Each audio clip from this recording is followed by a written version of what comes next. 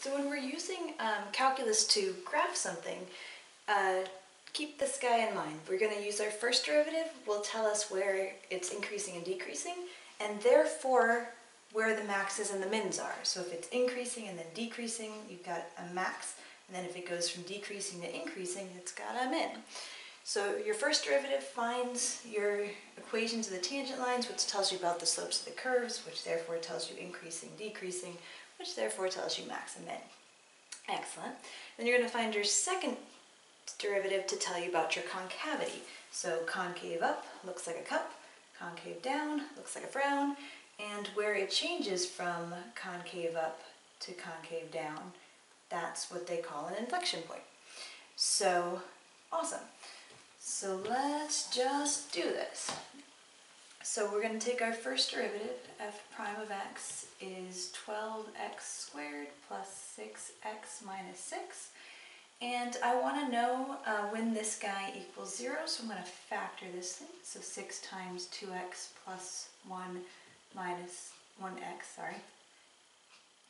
2x squared plus x minus 1, okay. Let's see if I can hold it together. Uh, factor this guy, 2x and an x and a 1 and a 1. That's uh, 2 plus 2 minus 1. So this thing will equal 0. We say our critical points. It'll equal 0 certainly at the negative 1, and also if you set that equal to 0 at 1 half. So that is where your tangent line is, the derivative is 0. So that's when you have a nice horizontal tangent line. Uh, when the derivative is zero, your tangent line is, your slope of your graph is zero, and therefore your tangent lines are horizontal.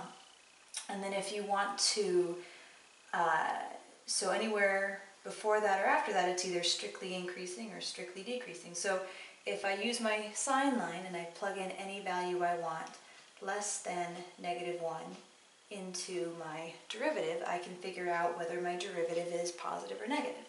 So if I plug in any number I want less than negative 1, my teacher always used to do negative a billion or negative infinity or negative some really, really big number.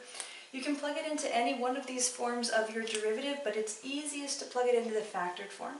So if I plug in negative 100 into this, this 6 is positive, so he's not doing anything. 2 times negative 100 is negative 200 minus 1 is still certainly negative. Uh, negative 100 plus 1 is negative. Negative times a negative is a positive. So since our derivative is positive, the slope of our tangent line is positive, and therefore our function is increasing. Awesome. Now plug in your favorite number between negative 1 and, and a half, maybe 0. So 2 times 0, let's get rid of those. 2 times 0 is 0, minus 1 is negative, uh, 0 plus 1 is positive, a negative times a positive is a negative. So our derivative is negative, so our uh, graph is going down. Uh, if you plug in something bigger than a half, it, it'll end up being positive. You can check it, plug in maybe 100 into there, positive times positive. And since our function, the derivative is positive, the slopes of our tangent lines are positive, and therefore our function is increasing. So therefore we can answer the intervals of increase.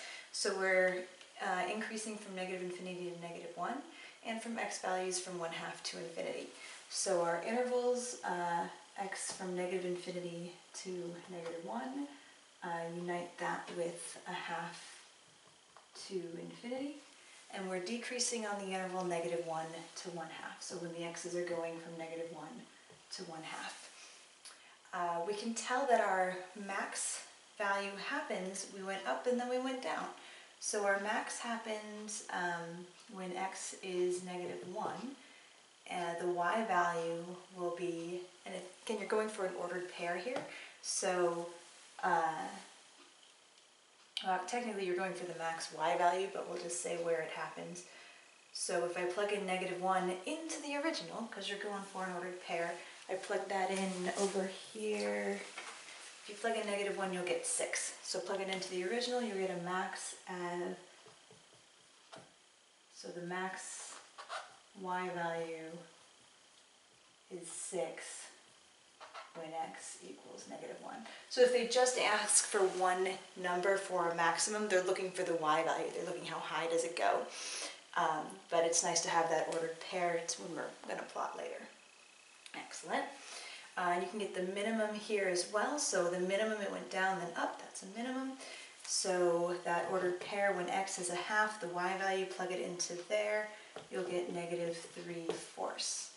So 1 half comma negative 3 fourths. So it has a min y value of negative 3 fourths when the x is a half. All right, so now we know all that. And basically you have the shape of your function right there. We're just going to flesh it out a little bit with this concavity. We're going to find an inflection point. So we do the same process again, just with the second derivative. So you have f double prime of x is derivative of this guy, so 24x plus 6. And I want to know, let's see, this is 6 times, to do this, but that's okay. So my uh, critical point for my second derivative is negative 1 fourth. So that is where my second derivative equals zero. It's a potential point of inflection. So I plug in to see what my second derivative is doing uh, before and after this critical point.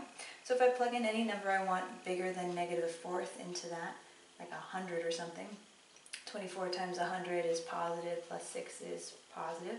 So I am concave up here.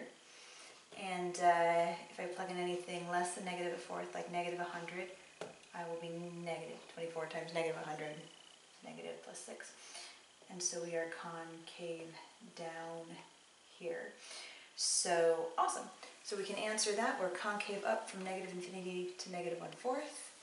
So concave up from the x's between negative infinity and negative 1 fourth. And concave down, oops, I wrote that backward, uh, concave down from negative infinity to negative one fourth, and then concave up negative a fourth to infinity. And because it changed from going, changed concavity at this point, that point is my inflection point. So if I want to find that ordered pair of that point, if you want to find an ordered pair, an actual point on your graph, you plug it back into the original function. A lot of times I remember myself being confused when I was taking it. My teacher would be like annoyed. He's like, dude, you want to find an ordered pair? Put it back into there. Why would we put it back into one of those? I don't know. But uh, you put in 0 and you get a 1. So your inflection point is 0, 1. So awesome. So now we know all this stuff about our graph and we can use it to kind of uh, draw it. So we'll just plot what we've got. I like to plot my max and my min. So I've got a max at negative 1, 6, a min at 1 half, negative 3 fourths, um, and an inflection point at, uh, let's see, 0, 1. Hmm. Oops, why did I plot that there? 1 half, positive 1 half, negative 3 fourths. That's better. Uh, so that's, this is my max at negative 1 6. This is my min at a half negative 3 fourths. And then my inflection point is 0, 1. And awesome. And so I know my shape basically looks like this. I'm going to go up till I reach my max, down till I reach my min, up. But I know that until this inflection point, I am uh, concave down. So I'm concave down till there, and then I switch to being concave up for there. And there we go. That is my graph.